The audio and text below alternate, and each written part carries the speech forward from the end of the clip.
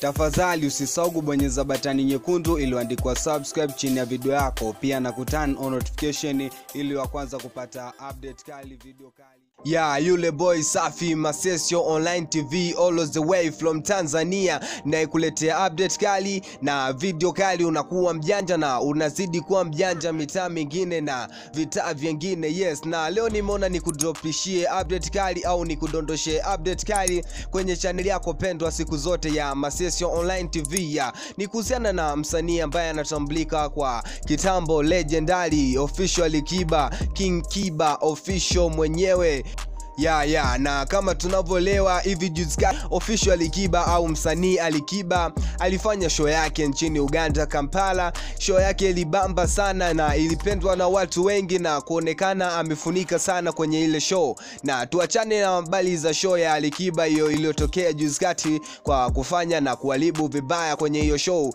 Ni, ni juzi hivi Alikiba kutokana na skendo mbaya na skendo ya kweli iliyomhusisha kuachana na mpenzi wake au mke wake ambaye walipendana sana, ambaye anafahamika kwa jina la b Amina. Yes, na ikumbuke kwamba siku zote wanakwambia mafali wawili hawawezi ishi nyumba moja kamwe ya nadhani nikisema hivyo utakuwa umenielewa kinamna moja ama nyingine. Yani tunasema fahali wawili hawawezi ishi nyumba moja hata siku moja. Yani hii imekuja kutokea juzi baada ya Bi Amina kumwambia Alikiba kwamba achana na familia yako, tujenge nyumba nyingine tuishi mi na wewe tu kuishi kifa. Yani kama tunavyojua msanii official Alikiba ni msanii ambaye anaishi na familia yake nzima, yani kuanzia wadogo zake na Abdu Kiba anaishi nao nyumba moja, anaishi na mama yake hapo hapo kwao. Yani yeye ni mtu msanii ambaye anaishi na familia yake nzima, anaishi na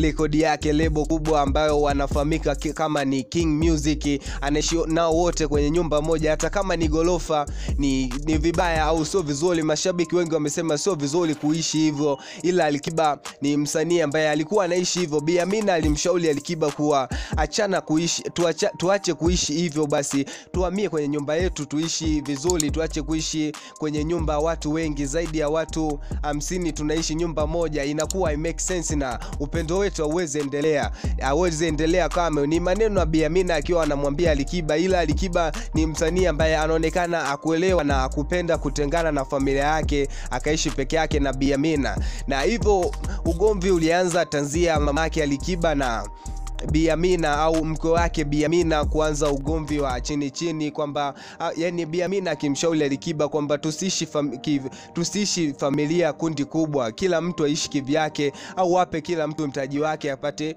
kuishi, wakaendelee kuishi maisha yao. Utaishi nao mpaka lini? Bi Amina alikuwa anamshauri kama hivyo Alikiba. Kama tunavyojua mama na mtoto bwana, yani mama na mtoto ni kama ni kama ni unataka uchonganishe. Alikiba akaona kama ni uchonganishe fulani, akaona ngoja nimpe talaka Bi Amina, na kama tunavyojua Bi Amina amepewa talaka tatu, amerudi kwao Kenya na kuendelea kufanya mambo mengine. Alikiba amechukua uamuzi mgumu kwa kufanya hayo mambo huku akiwa wamezaa na mtoto mmoja ambaye anafahamika kwa jina la Kiani. Yani ni kitu ambacho watu wengi kimewashangaza na kimemake headline mitandaoni kuwa Alikiba ameachana na mke wake Bi Amina kutokana na mambo machache au mambo ya ugomvi ugomvi. Na kama msanii Diamond Platnumz ishawahi mtokea hiyo kwa mwanadada Zari, ambaye mwanadada Zari alikuwa anagombana na mama Dangote. Kwa hiyo imeonyesha kwamba wasanii tusiishi na familia zetu, tutengane na familia zetu, ikiwezekana tuwape mitaji waendelee kuishi, au